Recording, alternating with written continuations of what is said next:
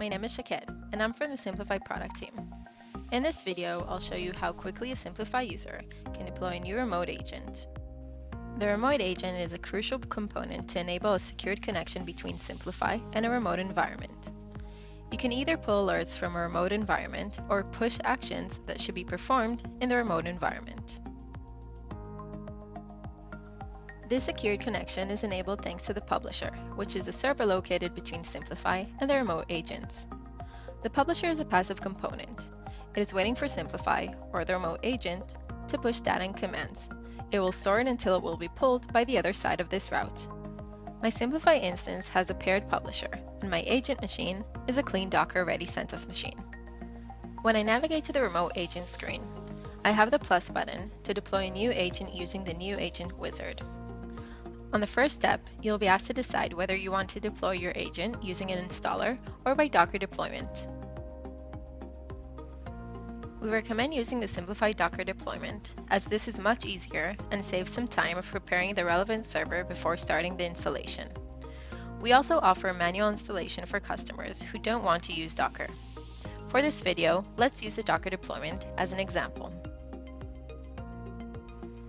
On the second step, you'll be asked to define the agent name and the environment. The name will be used later when configuring integrations and connectors, so it's recommended to use an indicative name. Then, the system will generate the Docker command with all the needed information. You can just copy and paste this command on the agent's machine, and within several seconds, you will have an active agent. The only thing that is left is to perform a connectivity check to make sure everything is good and to start working with your new agent. If something went wrong, the wizard will give you a link to the Siemplify Knowledge Center that describes frequent issues and how to handle them.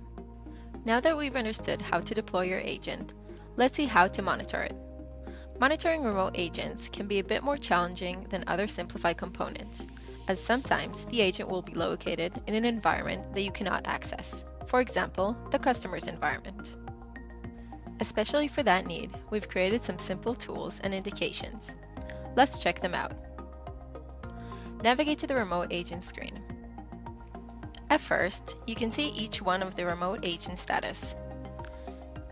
If one of the agent status is error, it means that you have some connection issues. Now, navigate to the special page that we've created for agents troubleshooting in Siemplify Knowledge Center and see all the frequent issues you might face and how to solve each one of them.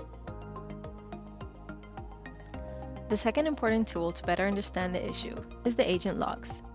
The remote agent is automatically sending all logs to Siemplify through the publisher. You can easily access the logs through the Siemplify UI by clicking on the Information button and another click on View Agent Logs. When clicking on this button, it will download the logs of the last 24 hours. For older logs, go to the dedicated logs folder, which is stored on the server. Now let's see an example of a use case in Siemplify Platform. Each integration in the marketplace can be configured with a remote agent. In this example, we will configure two integrations.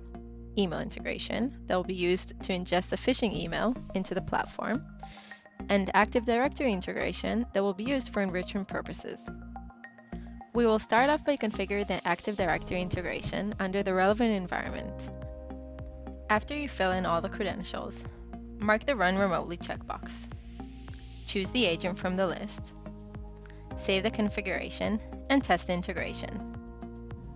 To configure the email connector, first download the email integration and then access the connector's model. Add a new email connector and mark the Run Remotely checkbox. Configure the credentials and save the connector.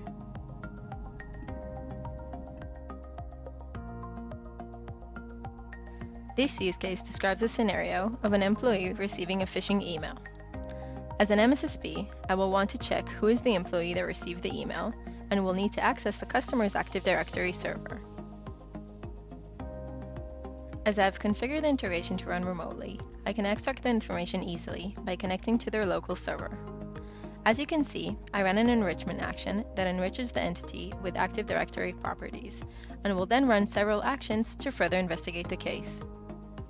Thank you for watching this video. I hope you'll enjoy the remote agents and the business potential it enables.